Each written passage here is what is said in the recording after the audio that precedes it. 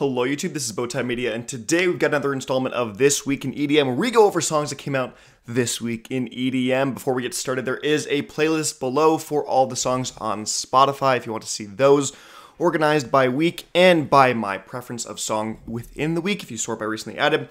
Uh, but before we get into it, we also have 27 songs this week, the most amount I think we've ever had in this week in EDM. So let's get it started with the trash category songs I think are absolute trash. We've got The Whistle by Steve Aoki, Timmy Trumpet, and DJ Aligator.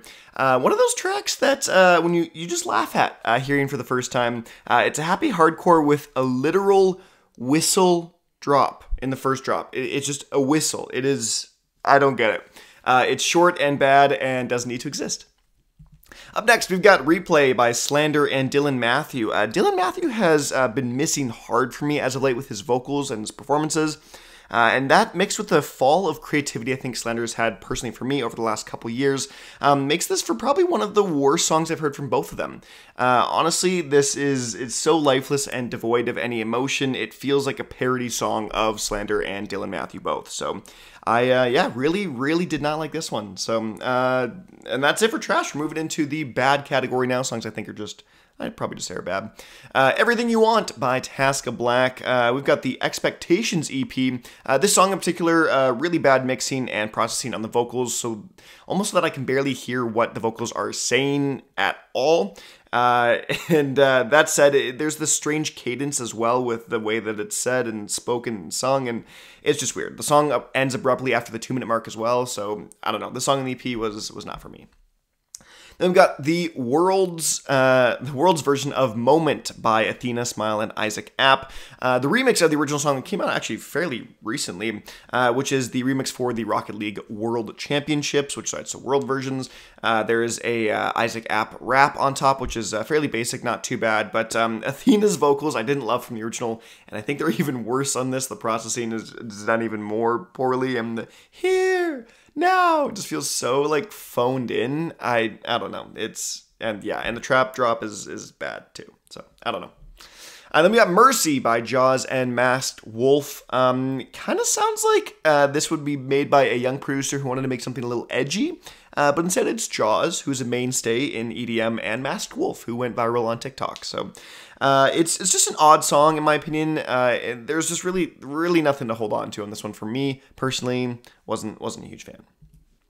We've got Here and Now by Yultron and Jacob Luaing. I want to say. Uh, early 2000s pop rock vocalist here, uh, and I don't really particularly relate with that style, so take this with a grain of salt. Um, maybe if didn't have, if I didn't have such a distaste for that style of vocal, um, maybe I would appreciate a little bit more, even like a non-vocal version. But even that, the kind of basic trance production on the back end is, um, yeah, it's just not great. Vocals kind of ruin this for me, and I just think regularly without the vocals, the song would just be very, very meh. So we've got Make Me Believe by Diplo and Melé. Uh, the Diplo Deluxe LP is out now, the reissue with uh, almost disco style track. Um, the mixing is horrible on this, honestly, uh, and it's just another just odd song. It doesn't feel right. It just feels like something's missing and or there that shouldn't be there. It's just it's just weird. It makes me feel I don't know how to describe it. It's just. Ugh. Uh, then we got Way Back by uh, Aviella, I want to say, and Conro. Uh, my least favorite Conro song of all time. Uh, wow. Um, I am not a fan of her vocal, her singing on this. Uh, that just may be personal preference here. I really do not like the vocals. It's a little like whiny and it sounds very like young, I want to say. It just didn't work for me. Uh, and the most basic house beat that Conro has, I think, ever produced, um, especially on Monstercat, it just, yeah, I don't know. It all worked out and all worked together to be something that I didn't actually enjoy. So. As we move into the meh category, songs I think are uh, just meh. We've got Aurora by Blanke uh, with the Aeon 2, sort of. I think this is the end of that. I'm not 100% sure. Uh, we've got a uh, pretty basic drum and bass track here uh, with honestly not much more I can say about it. It's kind of just a basic drum and bass song. So. Up next, we've got Brooklyn Friday Love by The Midnight. Uh, not a very EDM track for the This Week in EDM, uh, but a lot more of a synth pop style track, uh, something that you would definitely hear on the radio. Uh, honestly, not a huge fan of this, but I can understand why people would really appreciate it, which is why it's here just in the meh category. And uh, I did like the saxophone to conclude the track, though, so that was that was a nice little touch. So we've got Energy by Bishu up next. Uh, personally, never been a fan of Bishu's vocals uh, and the editing that he does to them, and this track is very vocal heavy and focused, and so that was just already already like a, a for me for the track. Um, but it's a quick one. It's got his classic kind of bright, plucky synths to it, and so if you like Bishu and you like his vocals, then I think you'll like this. But that's why it's just in meh. Next, we've got Obsessed by Calvin Harris, Charlie Puth, and Shenseea or Shenseea. Uh, Funk Wave Bounce Volume 2 is out from Calvin Harris with a star studded pop EDM fusion album. Uh, enjoyed most of the singles up until the release, but this track in particular was a little more boring, uh, offering very little in terms of variety compared to the rest of the LP and even kind of this pop EDM commercial music in general. Uh, bland vocals from both vocalists here, which is kind of upsetting because they're kind of bigger names, especially Charlie Puth. Uh, that being said, it's not it's not too bad, so that's why it's just here. Then we've got Heaven by Delta Heavy and Jem Cooke. Uh, appears to be a new single from an upcoming album, I believe. Uh, the D&B reminds me a lot more of the Delta Heavy early days. Um, but uh, yeah, when they first started, or when they first started getting big, uh, it's not too intense of a track, but I think suffers a bit too much from being a little bit too repetitive, I would say as we've got Borkforce by Lil Hank. Uh, the dog is back with his first official release in two years uh, with an atmospheric trap banger here. Uh, not the craziest track I've heard, but uh, I mean, it's a dog, so you got to give him some credit for that. Up next, we've got Grave Bloom by Must Die. Very, very unique dubstep track that embraces more of the actual dubstep sound rather than something that's bro step or rhythm, I think, the actual classical dubstep sound. Um, yeah, particularly the back end of the track, too, with that very, very distinct sound. There, uh, there really only is one drop. The second drop is kind of, I don't know, pushed down, minimalistic, old school. It's, it's just yeah, it's just atmospheric dubstep, and I honestly don't know how to describe it. You just need to listen to it. It's it's just unique. Unique is the best way to put it. So. Up next, uh, shockingly this high, Hot in It, Tiesto's Hotter remix by originally by Tiesto and Charli XCX. Uh, really embracing the hotness on this track with this one, uh, embracing a darker atmosphere for the remix in particular, uh, less commercial approach, which I personally really enjoyed. Uh, the original was pretty bad, but this is a fun club banger. Honestly, I'm I'm shocked how well I how much I actually enjoyed this one. Up next, we've got Brain Stab by Automate uh, or Automate. Uh, so it's uh, it, it's rhythm. So uh, if you know me, I, I, don't love rhythm a ton, uh, but uh, I, I I didn't I didn't mind this one actually. I think if you're a huge rhythm head, I think you'll really enjoy this.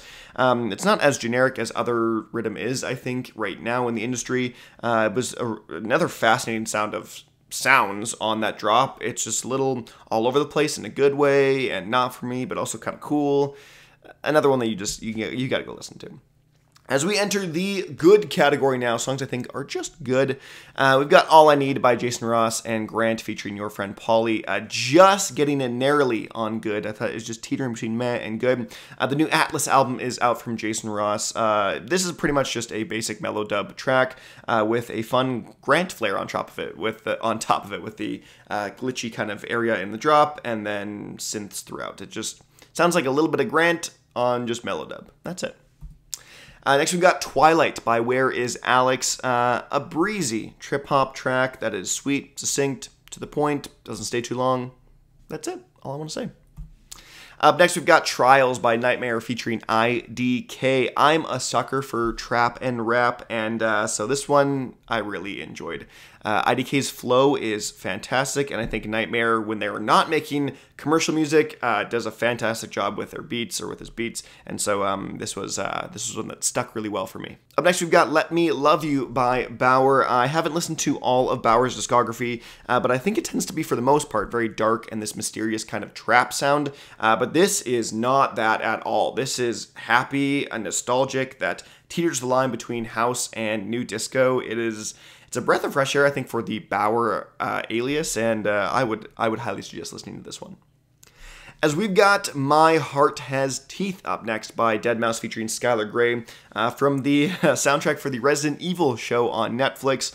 Um, it's very minimalistic, dark house, uh, pretty much a classic Deadmau5 song that you would think of. Um, vocals are a nice touch, but nothing crazy. Skylar's performance here is really, uh, really pulled back and really kind of dumbed down, I would say, but that adds to the aesthetic of the track. So, not too bad.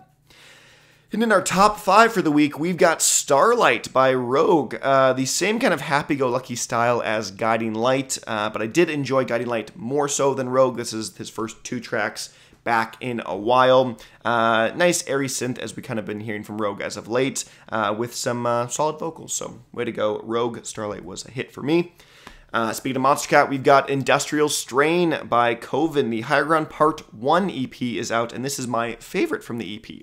Uh, normally, I like Katie's vocals to be really clean and not processed a ton, uh, but I really like the distortion added on this. It adds to the atmosphere of the track uh, and is just a solid production or solid production on the dance floor D&B track. Losing my words here, but uh, solid. I, I really enjoyed this one as we've got our top three Cannot Hold You by Flux Pavilion and Jamie Lidell. Uh, a nostalgic vocal that kind of just jumps out right away to you. Uh, ripping guitar and reminds me a lot of the old school EDM with its uh, relatively distorted synth sounds that keep and hold its tone for a, again, relatively larger time uh, compared to the rest of kind of EDM nowadays. It's not too long, it's like, but not very long, but in, in terms of what we've heard today, it's uh, it's it's pretty long. Uh, yeah, and that and the heavy kick, it just uh, makes it a very fun, uh, almost breath of fresh, nostalgic air, if that makes sense. I hope that makes sense. To me, it did. Who knows? Uh, and our penultimate track of the week is Elbow Grease by Ray Volpe and Sultan. Uh, the Legend of the Volpatron EP is out now, and I am stoked to listen to the rest of it. I really like this. I'm normally not someone that really likes Ray Volpe or Sultan, but uh, this just hit me in all the right places, in all the right times, in all the right areas, and whew, this was uh, this was a banger and a half for sure. And our top song of the week, almost standout, sadly no standout this week, I just had to put it in good, is Get Through by Fox Stevenson. A very quirky track with a truly unique house drop. I have not said that in a long time. For house, this is unique. This is a interesting new track. It's, it's yeah, for house, I, I can't even believe I'm saying that. Uh, honestly, I really have nothing to compare it to. It is it is it is that unique. Um, it's uh it is like kind of squeaky and grooving if I had to compare it. Uh, and overall, it was just a really engaging track. So I liked it. And uh, that is it for this week in EDM. Let me know what you think of these songs in the comment section below. Don't forget to check out the Spotify link to hear all the songs if you have Spotify or just for free. But uh, yeah, other than that, I'm Bowtied Media, and I'll see you guys in another video.